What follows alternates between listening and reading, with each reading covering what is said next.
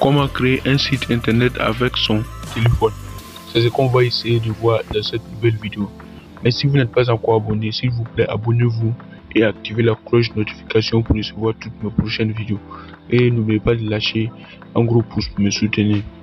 Maintenant, pour le faire, on va d'abord télécharger une application sur Play Store puisqu'on va créer le site avec notre téléphone. Moi, j'ai déjà installé l'application.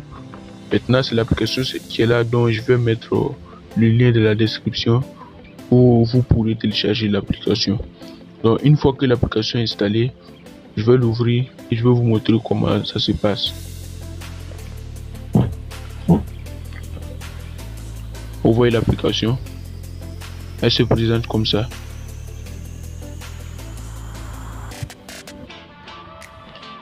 Et c'est l'interface de l'application qui est là. Donc ici, on vous demande si vous avez, vous avez déjà un compte. Comme on n'a pas un compte, on va essayer de créer un compte. On va dessus commencer. Et à partir de là, on peut s'inscrire avec notre compte Google ou soit s'inscrire avec euh, email. Donc, euh, la méthode la plus facile, c'est avec le compte Google. On va cliquer sur compte Google.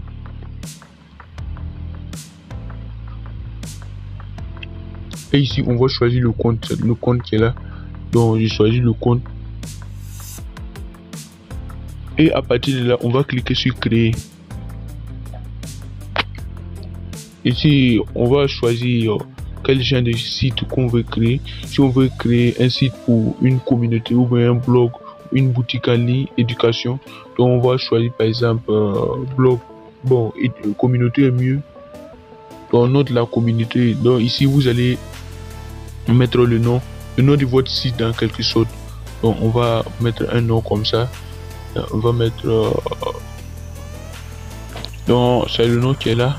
On va cliquer suivant et à partir d'ici vous allez cocher tous ces éléments là vous cochez tout et vous cliquez sur terminer. Vous allez attendre un peu.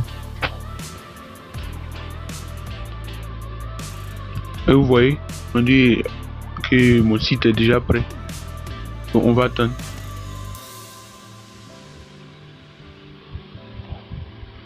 et c'est à partir d'ici qu'on va essayer de personnaliser le site.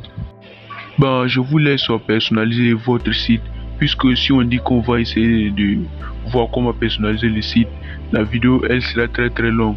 Mais si vous voulez que je fasse une vidéo sur comment personnaliser son site internet n'oubliez pas de me faire signe dans les commentaires et j'essaierai de faire une nouvelle vidéo sur comment personnaliser son site euh, internet.